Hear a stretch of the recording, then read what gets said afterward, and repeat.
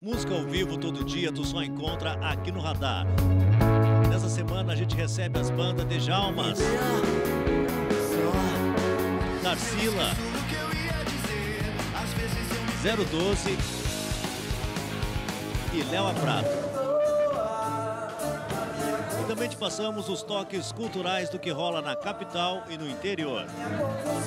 Radar, de segunda a sexta, seis e meia da tarde.